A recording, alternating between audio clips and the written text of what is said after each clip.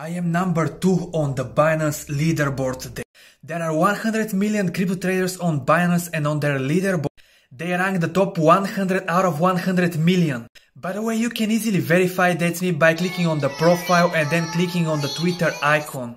As you can see, this leaderboard account is connected to our Twitter. Okay, so being number 2 is great, but I'm not sharing this to brag. I'm sharing this because I was a terrible trader in the past. I made all the mistakes and lost my money multiple times. And the fact that I went from being terrible at this to being number 2 on the leaderboard means that you can make it too. No matter how hard it seems and no matter that probably no one around you believe that you will make it, keep grinding, be patient and success will come. I wish you all the best.